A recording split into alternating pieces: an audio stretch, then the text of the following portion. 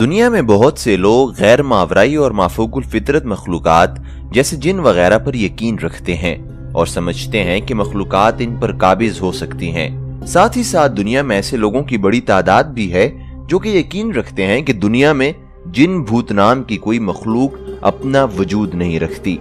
جہاں تک مذہب کی بات ہے، اسلام جنوں کی موجودگی کا اقرار کرتا ہے اور اللہ تعالیٰ نے اپنی کتاب قرآن کریم میں جا بجا جنوں کا ذکر کیا ہے۔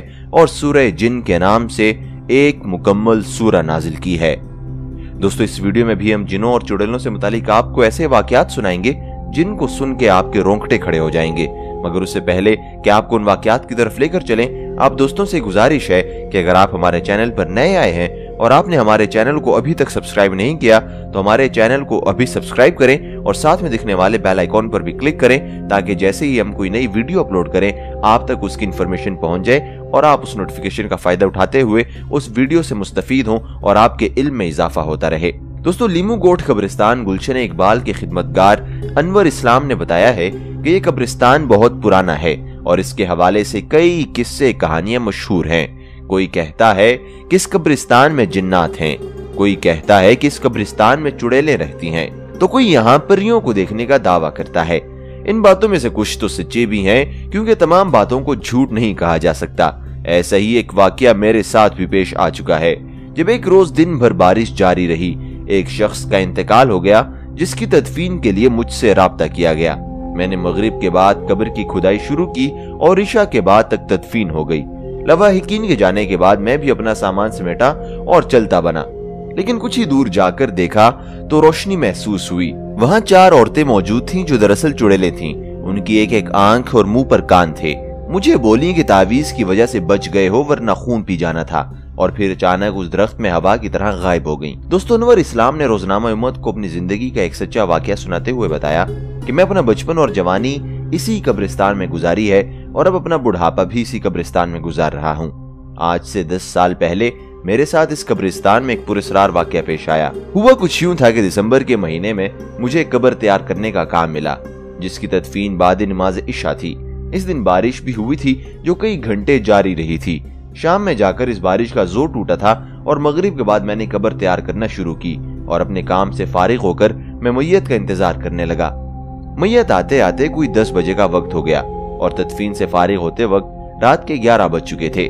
جس کے بعد لوگوں کے جانے کا انتظار کرنے لگا۔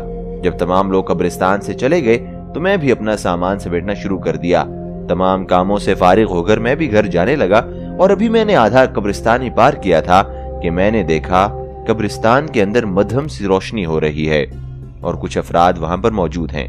اس صورتحال کو دیکھ کر میں نے سوچا کہ ابھی تک تو قبرستان میں کوئی نہیں تھا، پھر اچانک یہ لوگ قبرستان میں کہاں سے آ گئے؟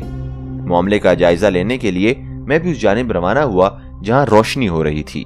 جب میں نزدیک پہنچا تو میں نے دیکھا کہ ایک درخت کے نیچے کچھ نوجوان لڑکیاں آگ جلا کر اس کے ارد گرد بیٹھی ہیں اور آپس میں کسی نامانوز زبان میں باتیں کر رہی ہیں۔ میں جب ان کے نزدیک پہنچ گیا تو میں نے کڑک دار لہجے میں ان لڑکیوں کو مخاطب کیا جو تعداد میں چار تھیں۔ ان سے کہا کہ تم لوگ کون ہو اور اس وقت قبرستان میں کیا کر رہی ہو؟ تمہارے گھر والوں کو معلوم ہے کہ اس وقت قبرستان میں ہو؟ میری آواز ان لڑکیوں نے سنی انسنی کر دی۔ اور پھر ایک لڑکی نے نیچے منہ کیے ہوئے دیگر لڑکیوں کو کہا کہ دیکھا، یہ آ گیا نا ہمارے پاس۔ یہ جملہ سن کر اس کی دیگر ساتھی لڑکیاں اپنی جگہ سے کھڑی ہو گئیں۔ اب جو میں نے غور سے ان کی جانب دیکھا، تو مجھے ایسا لگا جیسے میں کوئی خواب دیکھ رہا ہوں۔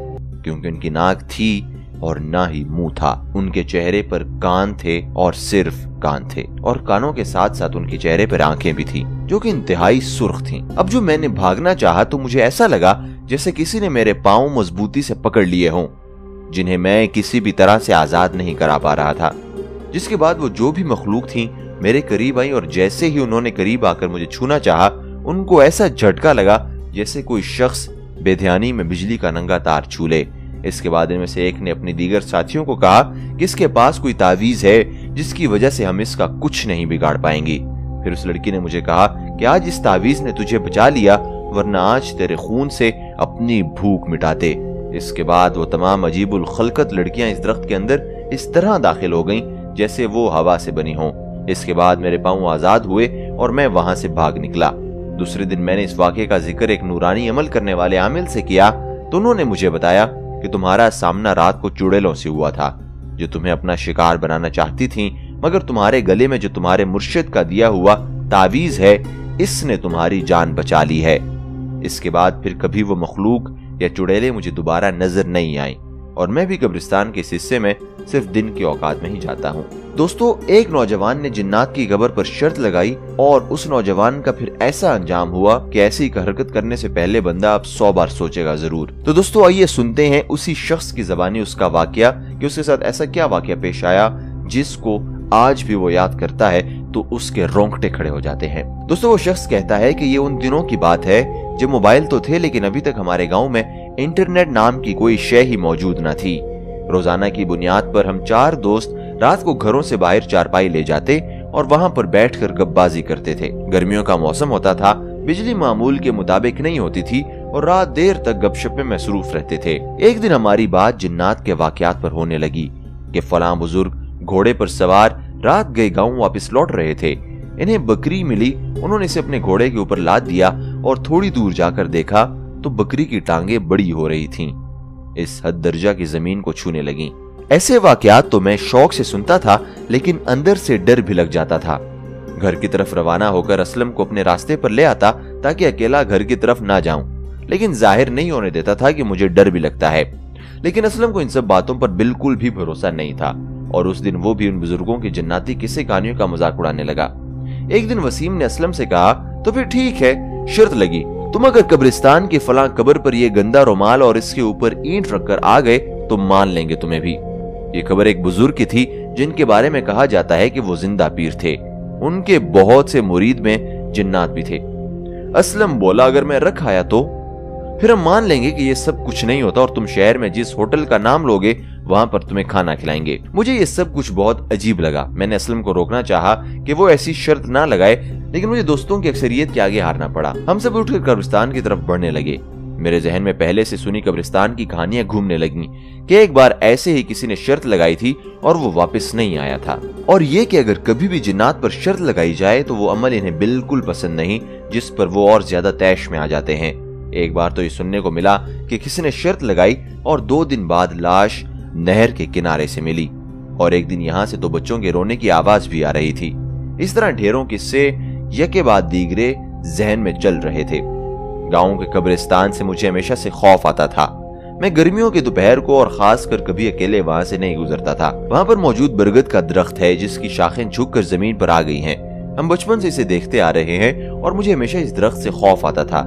جیسے وہاں جنات کا بسیرا ہو اور میرے ذہن میں اچانک سے خیال آیا کہ جہاں اسلم نے اپنا رومال رکھنا ہے، وہ قبر بھی تو اسی درخت کے نیچے ہے۔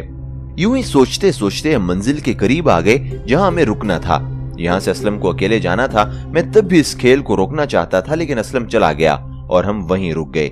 ایک دوسرے کو چپ چاپ دیکھنے لگے۔ وسیم نے خاموشی کو توڑتے ہوئے کہا، اسلم کو گئے ہوئے زیادہ وقت ہو گیا ہے۔ ہمیں چل کر دیکھنا چاہیے۔ مشتاق نے پریشانی کے عالم میں کہا ہم تینوں نے ہاں میں ہاں ملا دی اور اس قبرستان کے راستے پر نکل پڑے۔ کچھ نزدیک پہنچنے پر مجھے یوں لگا جیسے کوئی بچہ رو رہا ہو۔ تھوڑا اور نزدیک پہنچنے پر رونے کی آواز نے شدت اختیار کر لی۔ اس آواز میں ایک خوف تھا۔ آواز چھوٹے بچے کی تھی، لیکن ساتھ ہی بلیوں کی غرغراہٹ بھی شامل تھی۔ تھوڑی ہی دیر بعد سناٹا چھا گیا۔ ہم برگد کے درخت کے قریب پہنچے تو وہاں اسلم کو لیٹا ہوا پایا۔ ہمارے اوسان خطا ہو گئے۔ پاس پہنچے تو اسلم کی سانسیں چل رہی تھیں۔ ہم نے فوراً اسے اٹھایا اور واپس آ گئے۔ ہسپتال میں تین دن اس کا علاج ہوتا رہا۔ پیروں کے چکر بھی کاٹے، لیکن حالات جوں کی توں رہی۔ اس کی آواز نہیں نکل رہی تھی۔ وہ بولنا چاہتا تو بمشکل اپنے ہونٹوں کو ایک کونے میں سے لے جا کر کہتا، شرط. اسے نیند نہیں آتی تھی اور چوبیس گھنٹے آنکھیں کھلی رہتی تھی اکثر اوقات اس کے جسم سے درد اٹھتی، لیکن وہ چیخ نہیں سکتا تھا۔ صرف آنکھوں سے آنسو نکلتے رہتے اور منہ سے جاگ یوں ہی دس دن گزر گئے، وہ جاگتا رہا۔ آنکھوں سے آنسو بہاتا رہا اور پھر ایک دن وہ اس حالت میں اللہ کو پیارا ہو گیا۔ یہ اس کے کل والے دن کی بات ہے۔ ہم تینوں جب دعا کر کے اس کے گھر سے باہر نکلے تو ہماری نظر اس کے گھر کی دیوار پر پڑی، جس پر وہی گندا رومال دھرا پڑا تھا، جو اسلم قبر پر رکھنے گیا تھا۔ اسے دیکھ کر ہم دہشت زدہ رہ گئے اور آج تک ہمیں اس کی موت کی حقیقی اسرار کا پردہ چاک کرنے کی ہمت نہیں ہوئی۔ دوستو، آپ نے دیکھا کہ کیسے ہم نے ان دو واقعات میں آپ کو جنات کی حقیقت کے بارے میں بتایا کہ واقعی اس دنیا میں جنات کا قیام ہے اور جنات اس دنیا میں پائے جاتے ہیں۔ لہٰذا ہمیں محتاط رہنے کی ضرورت ہے اور ہمیں اللہ تعالیٰ کا ذکر کثرت سے کرنا چاہیے تاکہ ہم جنات کے شر سے محفوظ رہیں۔ جیسے کہ پہلے شخص کو آیت الکرسی نے بچا لیا، اگر دوسرا شخص بھی ایسا ہی کوئی آیت الکرسی اللہ تعالیٰ کا کلام پیش کرتا تو شاید اس کی بھی زندگی بچ جاتی۔ امید کرتا ہوں کہ آپ کو آج کی یہ ویڈیو بہت زیادہ پسند آئی ہوگی۔ اور اگر آپ کو یہ ویڈیو اچھی لگی ہے تو اسے لائک ضرور کیجیے کومنٹ سیکشن میں اپنی رائے کا اظہار کریں اور اس ویڈیو کو سوشل میڈیا پہ زیادہ سے زیادہ شیئر کریں۔ تاکہ زیادہ سے زیادہ لوگوں تک یہ بات پہنچے اور وہ اس سے سبق حاصل کریں۔ اس کے ساتھ ساتھ اگر آپ نے ہمارے چینل کو سبسکرائب نہیں کیا تو اسے ابھی سبسکرائب کریں اور ساتھ میں دکھنے والے بیل آئیکن کو بھی دبا دیں تاکہ جیسے ہی ہم کوئی نئی ویڈیو اپلوڈ کریں آپ تک اس ویڈیو کا نوٹیفیکیشن پہنچ جائے اور آپ اس ویڈیو سے بر وقت مستفید ہو جائیں۔ دوستو، آج کی ویڈیو میں بس اتنا ہی۔ آپ سے ملاقات ہوئی اگلی ویڈیو میں، تب تک کے لیے دیجیے اجازت۔ اللہ حافظ۔